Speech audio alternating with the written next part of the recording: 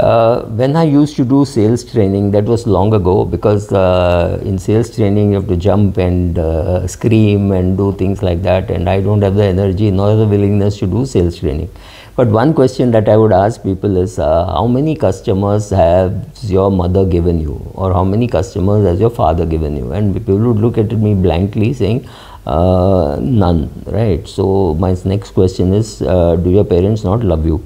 Do your siblings not love you do your friends not love you why do they not give you any business it's because they don't even know what you do they don't even care whether you know and you don't even care enough to tell them what you do so if you don't have a say 90 second or a 60 second uh, sales pitch uh, and your parents don't even know what you're doing. Right? It's oh, he's doing something in mutual funds, he's doing something in insurance. That's fine. They don't know the full details chances are they will not give you the give you any clients. Now this is true even when you are uh, dealing with other customers. So suppose you have a client who is uh, who is a good friend of yours who's been doing business with you for 10 years and he's very happy with the kind of uh, mutual fund returns he has got or life insurance or the advice that you gave about uh, his uh, daughter's education or his son's uh, son uh, to buy which cycle he wants to buy you have a very good relationship. You have even uh, considered going on holidays together right? So that's a fantastic relationship.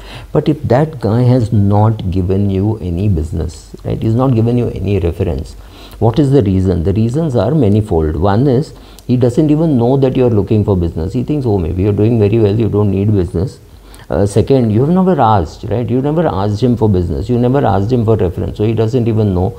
Third, he trusts you enough with his money, but he does not trust you enough with his friend's money. He does not want, if things go wrong, he does not want to tell his uh, to hear from his friends, Are you recommended this guy and he screwed up my mutual fund portfolio or my direct equity portfolio, right? Something like that. This is not like recommending a restaurant or a, a vacation, right? So if I were, suppose, a vacation organizer and I took a bunch of people, maybe 10 people. I took them to Corbett and they were very happy with what they saw in Corbett. They saw a, a tiger and an elephant fighting, which is once in a century kind of a thing, or all that. It is necessary for you to collect the testimonials then and there, right? To say wow this is so fantastic. So record all that keep it with you. So collecting testimonials is important whether you are a tour operator uh, taking people to wild safaris or whether you are a fund manager or whether you are an uh, it is nice to have all these endorsements from clients and testimonials and saying wow uh, this is what he did. Uh, it was very useful because uh, he had come to my house and he was speaking to my dad and he could force my father or uh, cajole my father into making his will. I could never have handled it myself. Whatever uh, customer testimonials, client testimonials, or to say uh, my wife was not convinced that we have enough money to retire, but he convinced my wife. Whatever it need not be saying oh he chose this fund and in this fund i got 17.8 uh, percent return. That may not make any sense because the testimonial by the time you put it would have been the, that fund would be giving minus 5 percent. So that may not make sense. You can still put it. You can talk about asset allocation. You cannot you can uh, talk about portfolio sizing.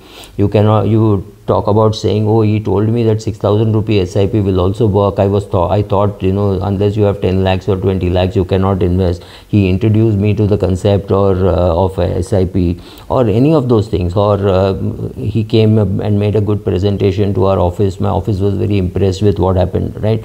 So some of these testimonials and also getting professional testimonials. If you can get some other uh, professionals in your field uh, may not be doing your work. Like you could be a mfd and this this person could be a fund manager and saying oh uh, i'm a fund manager but my own portfolio is handled by xyz mfd can it happen? Of course it happens right? I have enough uh, fund managers who will uh, uh, be happy to give testimonials for mfds right? So we know that. We know all those things are happening. So collecting all those testimonials uh, collecting video keeping it ready you know? So for example I, will again go back to the wild example of saying um, you took somebody to Corbett so you created film saying oh this is what happened. We saw so many tigers etc so now that clip can go into corbett can go generally into what kind of trips I organize and go into about tigers. Or create one saying uh, what can you see in India? And you say okay you can go here you can see tiger here you can see elephant here you can see uh,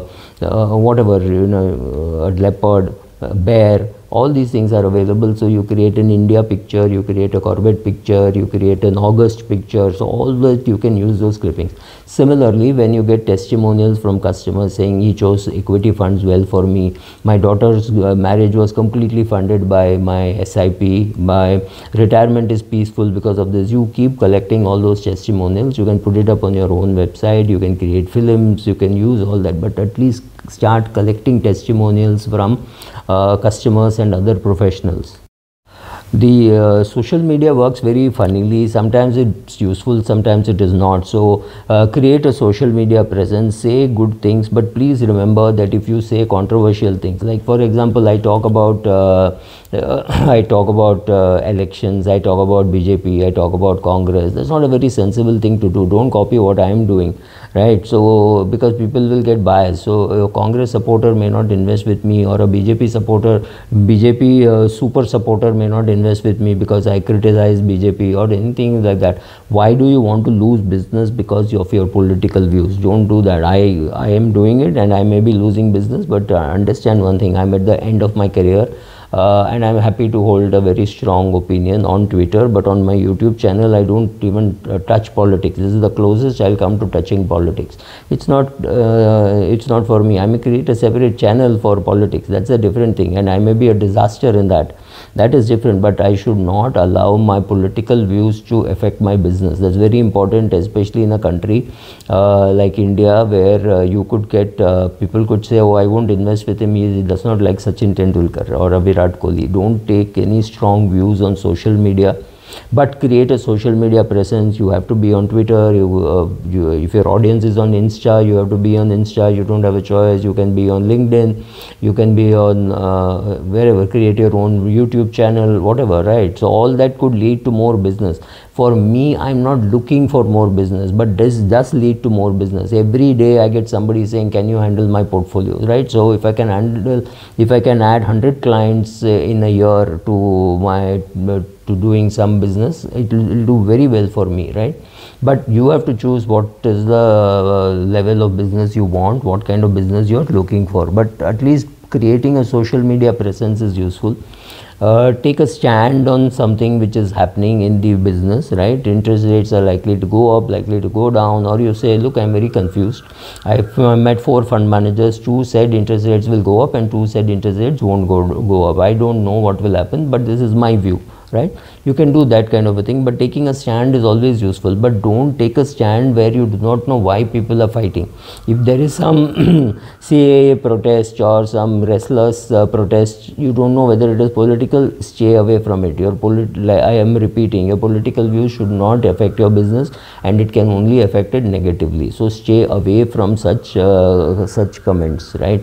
Uh, uh, if you have educational qualifications if you keep adding like you did a certification course in uh, risk management or you did a certification course in uh, uh asset allocation anything any of those things. You did a one day course two day course you did it from a good institute create those certificates put it up in your office. These are also again uh, your uh, educational qualifications. So if you're a chartered accountant and you're an mfd chances are people will listen to you when you talk about taxation. If you're not a chartered accountant and you crib about, oh, your chartered accountant is giving you wrong advice, uh, their chartered accountant will say, Array, these MFDs don't understand taxation. You, uh, you run that risk, right? So be very careful, be extra careful.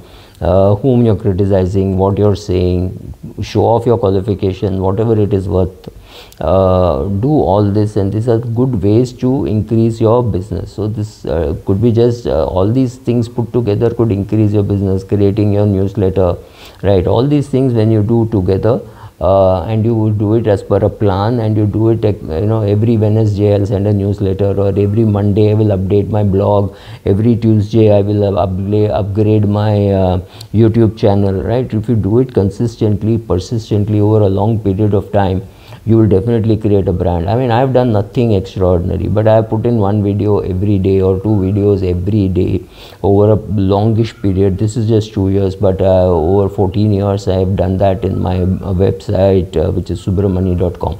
I've not been updating it recently, which is a shame, but uh, yeah, so you need to be consistent at what you're doing. You do all this together, it's a great way to increase your business, it's a great way to be visible about what you're doing. Thank you.